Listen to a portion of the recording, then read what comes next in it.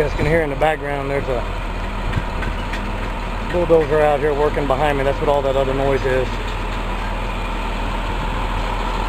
Just want to give you guys a quick video